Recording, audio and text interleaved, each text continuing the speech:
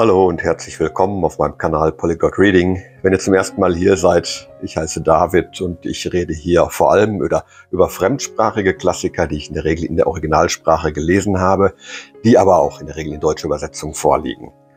Heute möchte ich euch vier Bücher vorstellen, die ich im Januar mit viel Vergnügen und Genuss gelesen habe.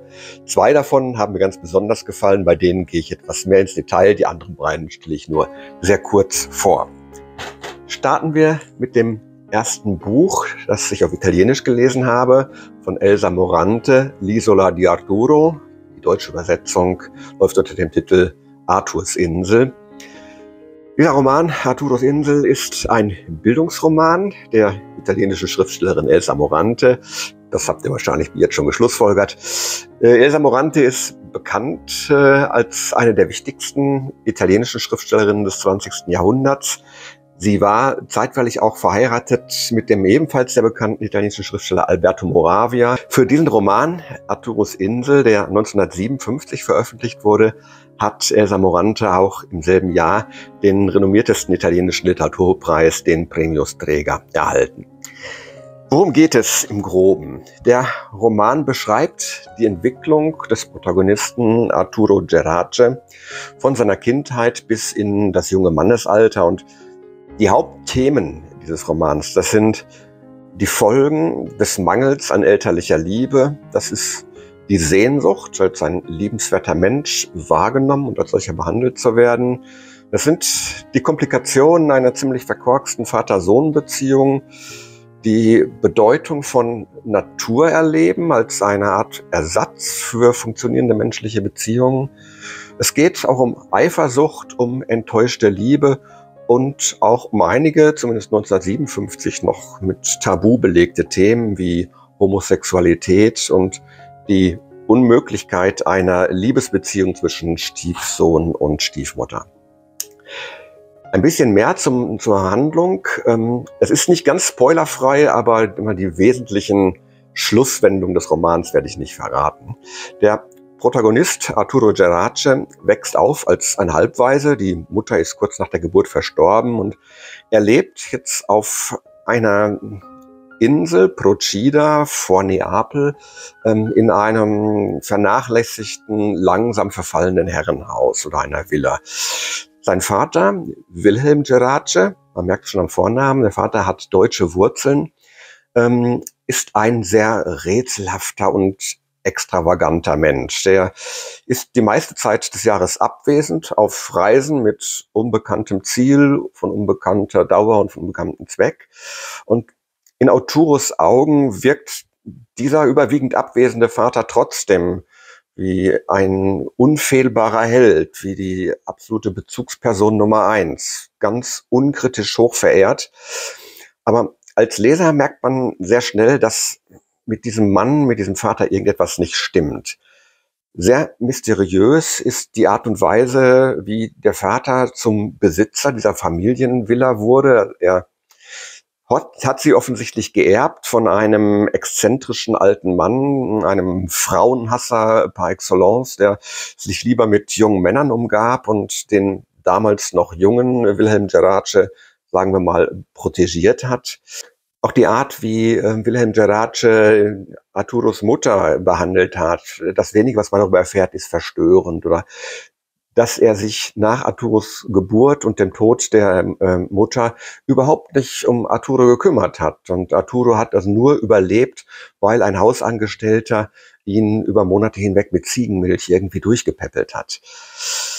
Ähm, ersten Teil des Romans wird relativ ausführlich Arturos alltägliches Leben beschrieben. Mit Gleichaltrigen kann er nicht viel anfangen, sie auch nicht mit ihm. Und äh, stattdessen zieht Arturo vor, so alleine über die Insel zu streifen, ähm, zusammen mit seiner Hündin im Macolatella als einziger Begleitung. Also ein insgesamt sehr freilebendes Kind, dank mangelnder elterlicher Aufsicht sicherlich. Und dieser Teil des Romans ist voll von idyllischen und detaillierten Naturbeschreibungen, Beschreibungen der Sandstrände, auf denen Arthur seine Zeit verbringt, der felsigen Küste, ähm, seine abenteuerlichen Ausflüge auf seinem kleinen Boot auf das Meer, Sonnenuntergänge über dem Meer. und so kleine Erlebnisse dieser Art. Bei den ganz seltenen Gelegenheiten, wenn der Vater auf der Insel zu Besuch ist, ähm, machen Vater und Sohn überwiegend gemeinsame Ausflüge. Das ist das, was sie an gemeinsamer Zeit miteinander verbringen.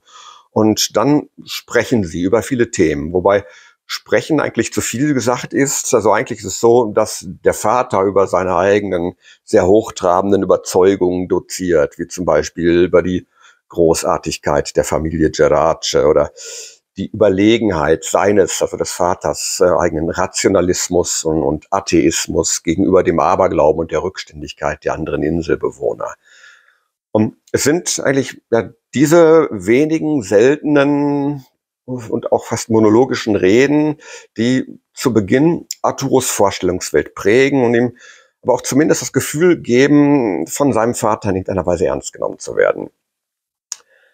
Eines Tages ändert sich diese Situation grundlegend und zwar als der Vater mit einer neuen Ehefrau auf die Insel zurückkehrt. Völlig überraschend.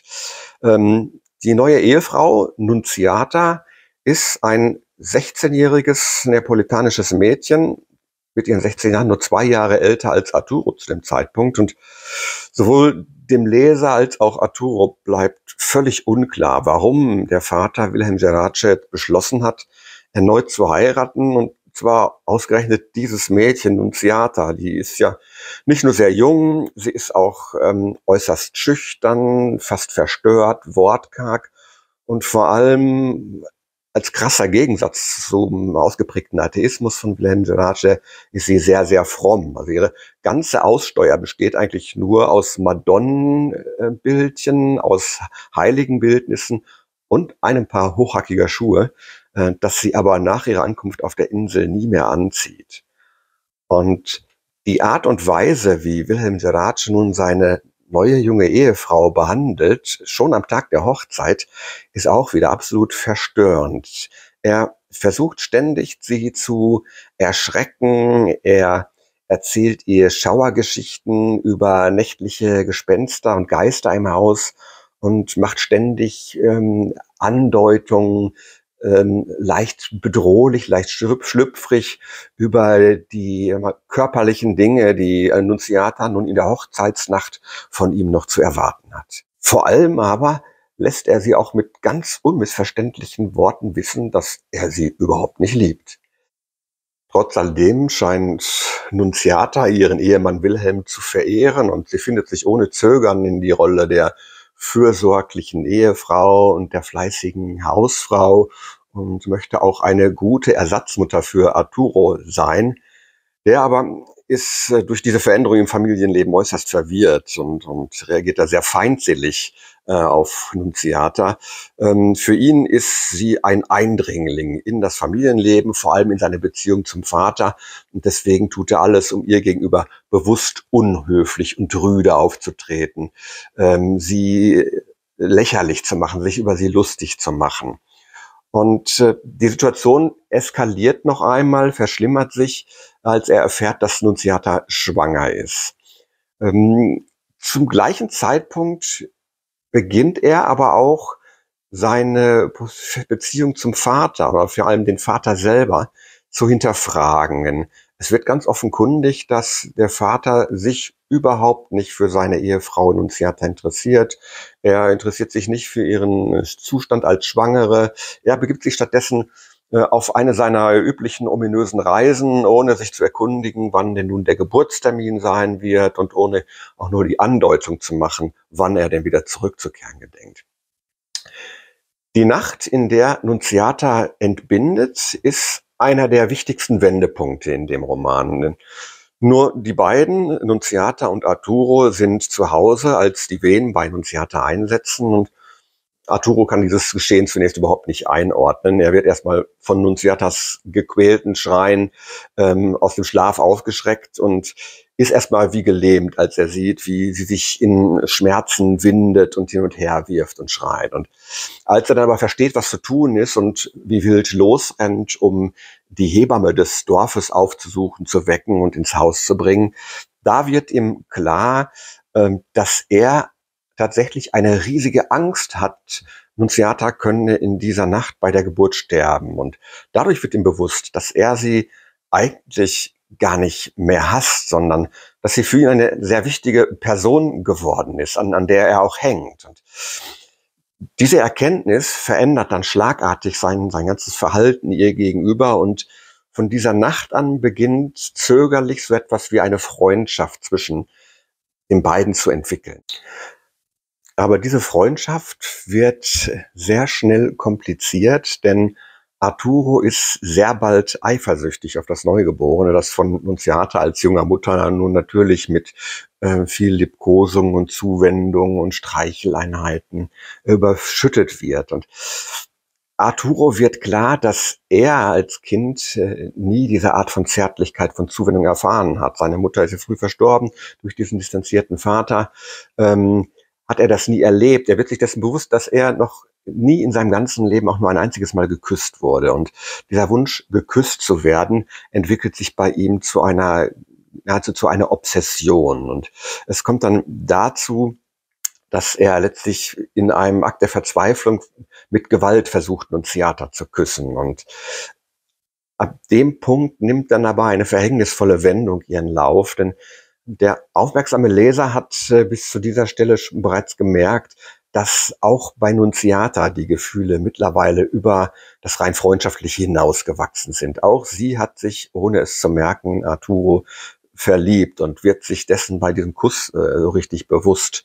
Und sie ist aber ähm, damit in einen absoluten Gewissenskonflikt gestürzt. Denn sie ist und eine treue Ehefrau möchte das weiter sein. Sie verehrt ihren Mann und sie ist auch ja, so stark in ihrer Frömmigkeit verwurzelt, dass es für sie völlig außer Frage steht, ähm, ihrem Mann untreu zu werden und eine Geliebte von Naturo äh, zu werden. So, mehr möchte ich nicht über die Handlung verraten, um euch den, den Genuss und auch die Überraschung beim Lesen des Romans nicht zu verderben. Aber ich denke, ihr habt bereits eine Vorstellung ähm, von den Hauptmotiven, den Haupthandlungssträngen und den menschlichen Konflikten, um die es in diesem Roman geht. Vielleicht noch ein paar Sätze zur Sprache Morantes. Elsa Morante schreibt in diesem Roman eine sehr bilderreiche, visuell orientierte Sprache, sehr gut dazu geeignet, die, auch die Insellandschaften, die Natur und auch das, das Innenleben ihrer Hauptcharaktere, vor allem von Arturo, zu beschreiben. Die Sprache wirkt eher ähm, orientiert an den großen Romanciers des 19. Jahrhunderts als Vorbilder, ähm, als an der experimentelleren Moderne. Und das ist überhaupt nicht negativ, sondern im Gegenteil positiv gemeint. Ähm, die Sprache wirkt in keiner Weise altbacken, überaltert, altmodisch gestelzt, sondern sehr frisch, ähm, sehr flüssig zu lesen. Aber man merkt diese, diese Schulung an den großen Erzählern des 19. Jahrhunderts. Das war mein erstes Buch von Elsa Morante. Es wird nicht das letzte bleiben und ich kann es einfach allen Lesern empfehlen, die sich für italienische Literatur interessieren oder die generell ein Interesse an Bildungsromanen haben über die psychologische Entwicklung von Charakteren auch unter etwas herausfordernden Bedingungen. Das zweite Buch, das ich etwas detaillierter vorstellen möchte, ist von George Eliot, The Mill on the Floss, Deutsch Die Mühle am Floss, hier in einer sehr schönen antiquarischen Ausgabe ungefähr aus dem Jahr 1900 der Roman wird oft als sehr traurig beschrieben und ich stimme zu, dass er ein sehr trauriges Ende hat, aber es wäre meiner Meinung nach völlig unangemessen, den Roman darauf zu beschränken und das Buch deswegen nicht zu lesen. Aus meiner Sicht ist der Roman trotz dieses traurigen Endes absolut lesenswert, denn er berührt sehr wichtige menschliche Fragen und Konflikte. Und zwar ist das Hauptthema aus meiner Sicht der Kampf des Charakters gegen die Umstände und genauer gesagt äh, zeigt der Roman auf, wie eine unangemessene Erziehung und das Fehlen einer guten Anleitung für das Leben, das Fehlen von tragfähigen Vorbildern das Leben von Menschen beeinflussen, ja sogar ruinieren können. Ganz gleich, wie gut die Absichten derjenigen waren, die für diese Erziehung, für die Formung der Charakter mitverantwortlich waren. Die Geschichte dreht sich um das Aufwachsen und die frühen Erwachsenenjahre von zwei Geschwistern, von Maggie und Tom Tulliver, ähm, die beide in einer Wassermühle Dorlcote am Fluss Floss aufwachsen. Diese Mühle gehört dem Vater der beiden, Mr. Tulliver. Und Maggie und Tom sind sehr unterschiedlich angelegte Charaktere. Tom ist ein sehr praktisch orientierter, pragmatischer Junge, der eine Reihe von ganz klaren Überzeugungen und Prinzipien hat, nach denen er auch handelt, ohne dass er sich irgendwie durch viel Neugier, Wissensdurst, den Wunsch über den Tellerrand hinaus zu schauen oder gar so etwas wie Spiritualität auszeichnet. Er hat äh, diese Prinzipien, nach denen er handelt und er ist auch sehr davon überzeugt, dass seine eigene Einschätzung jeder Situation absolut richtig und angemessen ist. Äh, wenn ja nicht sogar die einzig mögliche, die jeder vernünftige Mensch ähm, auch haben muss und der sich anschließen muss. Maggie im Gegensatz dazu lässt sich viel stärker von ihren Impulsen und ihren Launen leiten. Sie ist nicht sehr beständig, weder in ihren Überzeugungen noch in ihrem Verhalten. Und wir sehen das sehr schön schon in den ersten Kapitel des Romans, ähm, als beide noch Kinder sind. Da kommt es zu einer Situation, Tom ist ein paar Wochen von zu Hause weg gewesen und als er zurückkommt, muss er erfahren, dass seine geliebten Kaninchen gestorben sind. Ähm, einfach aus dem Grund, weil Maggie vergessen hat, sie zu füttern, weil sie mit ihrem Kopf in den Wolken war, tagträumerisch in ihren eigenen Projekten unterwegs war und äh, vergessen hat, äh, dieser Pflicht nachzukommen, die sie übernommen hatte, was sie Tom versprochen hatte. Bei einer anderen Gelegenheit sehen wir nochmal schön Maggies Charakter. Ähm, da macht jemand eine etwas kritische Bemerkung über ihre Haare, über ihre Frisur und äh, daraufhin stürmt sie los, holt sich eine Schere, stellt sich vor den Spiegel und schneidet kurzerhand ihre Haare ab. Dann sehr zum Entsetzen ihrer Mutter und der Teegesellschaft ihrer Tanten, die äh, zu dem Zeitpunkt zufällig auch im Haus sind und darüber völlig ähm, entsetzt sind. Wir werden später noch mal etwas detaillierter auf Tom und Maggie zurückkommen, aber vorher möchte ich noch ein paar Sätze über ihren Vater, über Mr. Tulliver verlieren, weil er auch eine ganz zentrale Figur in diesem Roman ist. Mr. Tulliver ist ein grundsätzlich sehr gutmütiger und weichherziger Mensch. Ähm, manchmal bis an die Grenzen der Leichtsinnigkeit, also bis zu dem Punkt, ähm, an dem er das wirtschaftliche Wohlergehen seiner Familie aufs Spiel setzt, weil er ähm, zum Beispiel Geld an arme Verwandte verleiht ohne in irgendeiner Weise auf vernünftige Sicherheiten zu achten, ohne äh, sich um die Rückzahlung dieser Geldmittel zu kümmern. Das ist die eine Seite. Auf der anderen Seite kann er aber auch ähm, extrem stur und starrsinnig sein und auf das bestehen, was er für richtig hält. Gerade wenn es darum geht, ähm, auf das zu bestehen, was er für sein Recht hält. Ähm, und das spielt auch eine ganz entscheidende Rolle im Roman, denn ähm, entgegen aller Warnungen seiner Verwandten und seiner Freunde strengt er einen Prozess an gegen einer seiner Nachbarn. Ähm, diesen Prozess verliert er dann auch mit Pauken und Trompeten und das zieht ihm seine gesamte Existenzgrundlage und stürzt auch seine Familie in den Ruin. Mr. Tulliver hat eine besondere Beziehung zu Maggie. Sie ist schon so etwas wie sein Lieblingskind. Zu ihr hat eine Beziehung auf einer sehr starken emotionalen Ebene. Ähm, seine Beziehung zu Tom ist da ähm, eher etwas nüchterner, eher etwas praktischerer Natur. Ihm ist besonders wichtig, dass Tom eine gute formale Ausbildung erhält. Ähm, das spielt ein bisschen Standelsdünkel und Geltungssucht bei Herrn Taliban mit, dass er ähm, das auch seinen Verwandten und seinen Nachbarn gegenüber zeigen kann, sein Sohn hat eine gute Ausbildung erhalten. Aber es schwingen auch eine ganze Reihe an egoistischen Motiven mit, ähm, denn er glaubt, dass ein gut ausgebildeter Tom ihm in seinen Geschäften und vor allem in den Rechtsstreitigkeiten, die auf sich zukommen sieht oder die er auch eingehen möchte, äh, von großem Nutzen sein kann. Ähm, trotz dieser guten Absichten, Tom eine gute Ausbildung zukommen zu lassen, merkt man aber, dass er überhaupt keine Ahnung hat, was eigentlich eine gute Ausbildung bedeutet, was das beinhalten muss. Und ähm, er ist da sehr ahnungslos, weil er auch selber keine Ausbildung erhalten hat, keine formale.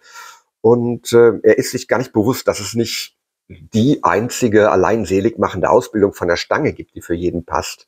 Und ähm, Deswegen folgt er mehr oder weniger blindlings dem erstbesten Rat, den er von einer Person bekommt, die er ähm, dazu befragt und die ihm eine Antwort gibt, die ihm irgendwie plausibel erscheint. Und so wird Tom dann zu einem Landgeistlichen geschickt, einem kleinen Pfarrer, ähm, um dort eben bei diesem Pfarrer in der, im Haus zu wohnen, sozusagen als in Pension und von diesem Pfarrer als Privatlehrer unterrichtet zu werden. Und dieser Pfarrer ist auch aber in seiner eigenen kleinen Geisteswelt gefangen. Und ähm, er gibt nun Tom das mit, was er für das Nonplusultra an Ausbildung hält, was aber für Tom völlig ungeeignet ist. Also Tom wird jetzt damit malträtiert, ähm, die alten Sprachen, Altgriechisch und Latein zu lernen, die antiken Dichter auswendig zu lernen, ähm, die alte mathematische Werke von, von Euklid äh, zu lernen. Und das passt überhaupt nicht zu ihm, das liegt ihm gar nicht. Und ähm, diese der Zwang, ähm, der auf Tom jetzt liegt, diese für ihn völlig unpassende Ausbildung zu durchlaufen, sich mit diesen Fachgebieten zu beschäftigen, die verhärt, verhärtet seinen Charakter ziemlich. Er wird noch ja, pragmatischer, noch, noch stärker auf den rein praktischen Nutzen orientiert denkend und wird vor allem unnachgiebiger seinen Mitmenschen gegenüber und vor allem unnachsichtiger seiner Schwester Maggie gegenüber. Ihren kleinen charakterlichen Schwächen gegenüber entwickelt er eine ganz besondere Härte. Maggie hingegen erhält überhaupt keine formale Bildung. Sie ist zwar das Lieblingskind ihres Vaters, aber er kümmert sich nicht um ihre intellektuelle Entwicklung, obwohl sie definitiv diejenige ist, die sich mehr für intellektuelle Dinge interessiert, die mit einer natürlichen Neugierde ausgestattet ist, um ihren kleinen Teil der Welt zu erforschen und zu verstehen. Sie ist eher eben eine Tagträumerin, die umherwandert, charmant ist, äh, keinerlei echten Schaden anrichtet, aber an allem interessiert schnuppert. Mehr durch Zufall stößt Maggie ähm, auf äh, das Werk von Thomas A. Kempis, Imitatio Christi, Nachfolge Christi, ein sehr frommes Andachtsbuch aus dem Jahr 1418, ähm, das eine sehr weite Verbreitung ähm, hatte, in, überall in Europa. Und das, dieses Werk ähm, lehrt eine, eine exzessive Demut und Selbstverleugnung. Und da Maggie dieses Buch ohne jegliche Anleitung oder Begleitung liest, nimmt sie alles wirklich sehr wortwörtlich und setzt sich selbst damit unter einen großen Frömmigkeitsdruck. Und aufgrund ihres eher labilen Charakters schwankt sie aber dann beständig hin und her zwischen unüberlegten, impulsiven Handlungen auf der einen Seite und dann wiederum übertrieben frommen Akten der Selbstverleugnung. Zwischen diesen beiden Polen werden also ihre Schwankungen dann eigentlich mit der Zeit noch extremer. Die Situation der Familie ändert sich drastisch, als Mr. Tulliver seinen Prozess, seinen Besitz und damit auch seinen Lebens- und Arbeitswillen verliert. Und so muss Tom dann seine sogenannte Ausbildung abrupt beenden und anfangen, Geld zu verdienen, um die Familie zu ernähren. Und das ist eine Aufgabe, äh, der er gewachsen ist. Für die ist er eben aufgrund seines pragmatischen und praktischen, zielorientierten Charakters bestens geeignet und äh, deswegen schafft es auch innerhalb weniger Jahre, ähm, nicht nur alle Schulden des Vaters abzubezahlen, sondern auch noch einen kleinen Vermögenstock aufzubauen und es auch äh, hinzubekommen, dass der Vater ja zwar nicht mehr als Eigentümer, aber immerhin als Pächter ähm, wieder in die Mühle zurückkehren kann. Die zweite Ebene an Komplikationen beginnt, sobald romantische Zuneigung und Liebe ins Spiel kommen. Es entwickelt sich nämlich langsam eine Liebesgeschichte zwischen Maggie und einem Jungen namens Philip Wakeham. Philip ist so etwas wie ein Klassenkamerad von Tom. Er ist nämlich bei dem gleichen Pfarrer auch als Schüler untergebracht. Ähm, Philipp ist etwas benachteiligt äh, körperlich, weil er einen Buckel hat, ist deswegen schüchtern und lehnt sich gerne an Maggie an. Ähm, die Komplikation kommt aber dadurch zustande, dass Philipp zufälligerweise der Sohn desjenigen Anwalts ist, der den Prozess gegen Mr. Tulliver, also für die Gegenseite, durchgefochten und auch gewonnen hat. Und man kann sich vorstellen, dass das äh, zu massiven Spannungen führt.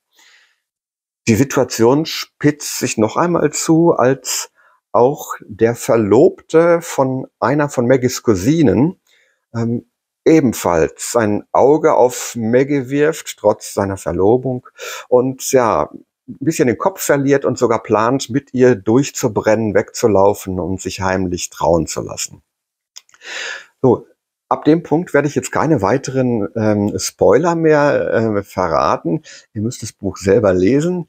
Ähm, ich kann nur wiederholen, was ich am Anfang gesagt habe. Ja, obwohl es sich um einen Roman mit einem etwas traurigen Ende handelt, es ist eine sehr differenzierte, aber auch ungemein unterhaltsame Studie über Charakter und Schicksal, die ganz tief in wichtige Themen eindringt, wie welchen Einfluss die Menschen, die für unsere Erziehung, für unsere Ausbildung und Charakterbildung haben, welchen Einfluss sie haben auf unsere Persönlichkeitsentwicklung, unser Schicksal und wie, inwieweit wir auch wiederum durch deren Charakterdefizite ähm, beeinflusst, beeinträchtigt werden können. Es gibt in dem Buch, und das möchte ich betonen als Gegengewicht zu dem äh, traurigen Ende, es gibt in dem Buch auch eine ganze Reihe an äußerst humorvollen und regelrecht witzigen Szenen, in denen Elliot ähm, die Oberflächlichkeit und die Bigotterie und den Egoismus vor allem der Tulliver-Verwandtschaft entlarvt. Da gibt es nämlich eine große Gruppe von Tanten und Onkeln, die alle ihre eigenen kleinen Schwächen haben, im Allgemeinen schon gutartig sind. Also keiner von denen ist irgendwie wirklich abgrundtief schlecht oder böse, aber sie haben eben alle ihre kleinen Charakterschwächen und Eitelkeiten und George Eliot schafft es, diese auf eine herrlich humoristische Weise darzustellen, ohne sich da bei irgendwie übermäßig über diese Person lustig zu machen. Man merkt, dass Elliot wirklich eine tiefe Sympathie eigentlich für alle Charaktere hat, die sie beschreibt, auch für die problematischen. Keine davon ist eine eindimensionale ähm, Figur, die irgendwie nur schräg oder nur böse ist. Ähm, aber jeder hat eben ihre spezifischen Schwächen und äh, diese Schwächen färben dann vieles, was die Personen sagen oder tun. Und das schafft Elliot wirklich sehr präzise, aber auch sehr humorvoll herauszuarbeiten. Meine absolute Lieblingsszene ist die, in der diese ganze Verwandtschaftsklicke zusammenkommt, um zu beraten, wie der Familie Tulliver nach dem Scheitern von Mr. Tullivers äh, Gerichtsprozess jetzt nun geholfen werden kann. Und in dieser Szene werden dann die meisten von diesen Verwandten im statt jetzt mit praktischen Ratschlägen und mit konkreten Taten der Nächstenliebe irgendwo aufzuwarten, äh, wenn sie die Gelegenheit nutzen, um ihre eigenen kleinen Tugenden und Leistungen über den grünen Klee zu loben.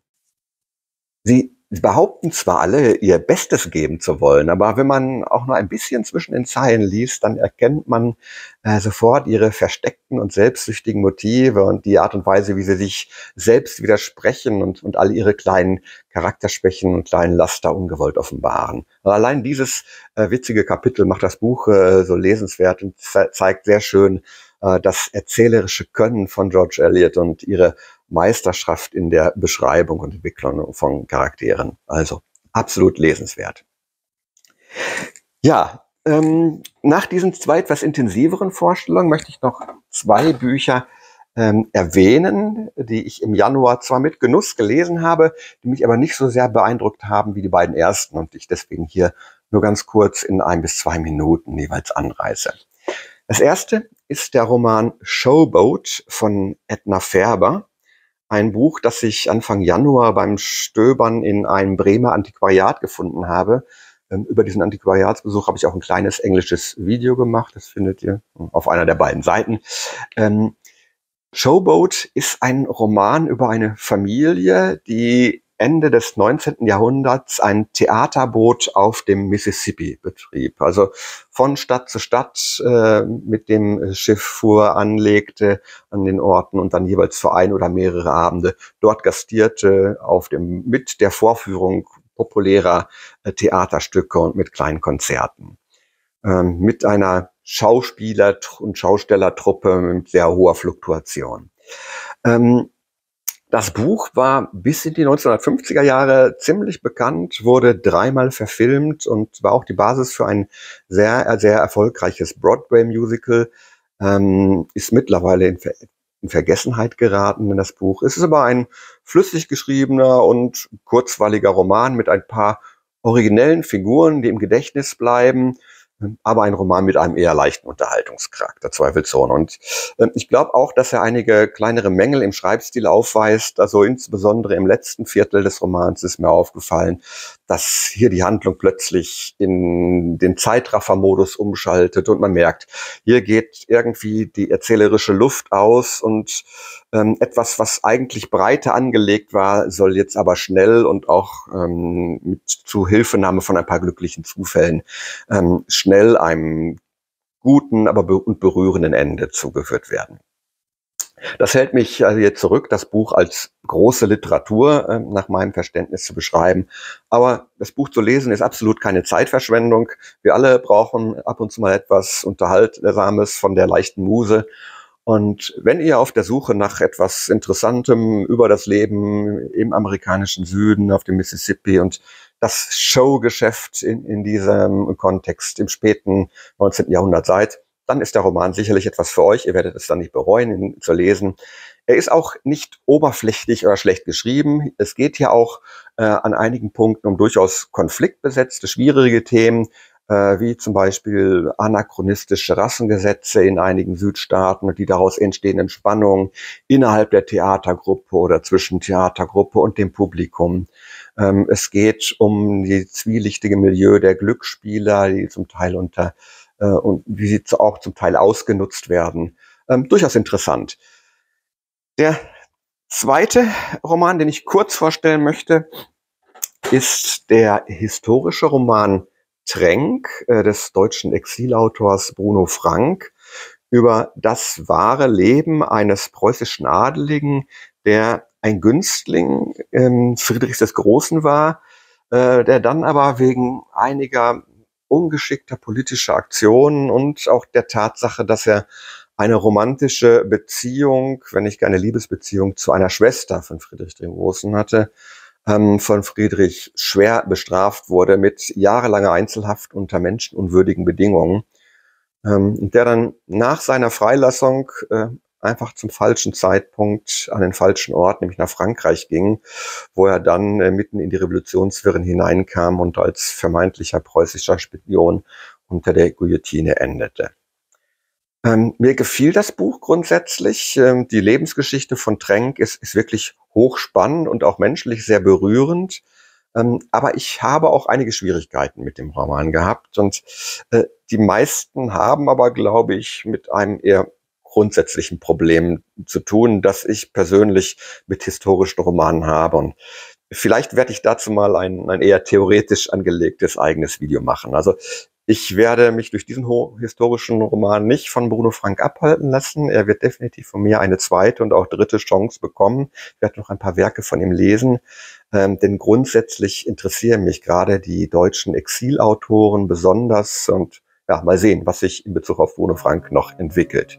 Aufmerksam geworden bin ich auf Bruno Frank übrigens ähm, durch einen Hinweis von Thomas vom Kanal Schundleser. Falls ihr Thomas und seinen Kanal noch nicht kennt, schaut dort einmal vorbei. Äh, das lohnt sich. Er macht sehr interessante Sachen. Erfrischend anders als das übliche zahlenfixierte Lesebuchhalterwesen, dem man sonst hier auf Booktube relativ viel begegnet.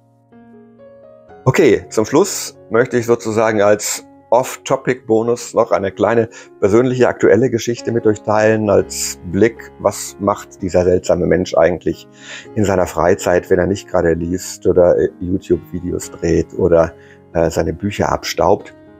Ich habe gerade ein sehr praktisch orientiertes Nebenprojekt als gutes Gegengewicht zum, zum Lesen.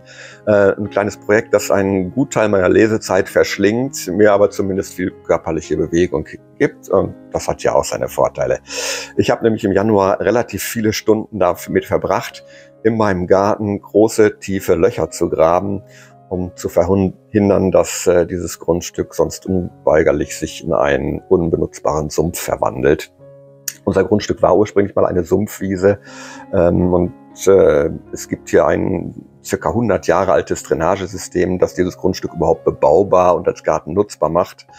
Und offensichtlich ist eines der Hauptrohre dieser Drainagen verstopft und der Garten säuft ab. Problem, dieses alte System liegt ungefähr auf zwei Meter Tiefe und ist nicht zuverlässig kartiert. Und das Grundstück ist selbst für kleine Bagger nicht zugänglich, ohne dass man jetzt, ohne Mauern und Zäune abzureißen. Also war Handarbeit angesagt und ich habe einige tiefe Löcher gegraben. Es war ein gutes Stück Arbeit, aber zur Aufmunterung habe ich dabei auch ein paar interessante Funde gemacht. Zum Beispiel neben einem alten Tintenfass auch diese kleine Porzellan-Kaffeetasse mit Dekor im chinesischen Stil so, nach erster Quick and Dirty Recherche müsste das ungefähr aus den 40er Jahren stammen. Die war natürlich zerbrochen, ähm, aber nur in zwei Teile, die ich leicht kleben konnte. Und so steht diese Tasse jetzt zumindest zur Deko in meinem Bücherregal als ein schönes kleines Souvenir an mein Maulwurf-Projekt. Okay, das war's. Danke fürs Zuschauen. Wenn euch das Video gefallen hat, gebt mir ein Like, abonniert den Kanal oder was noch wichtiger ist, Lasst mir gerne einen Kommentar da, damit wir ins Gespräch kommen, in die Diskussion über Literatur. Denn das ist das, was mir äh, für diesen Kanal wirklich am allermeisten am Herzen liegt. Bis hoffentlich zum nächsten Mal. Macht's gut, passt auf euch auf. Tschüss und ciao.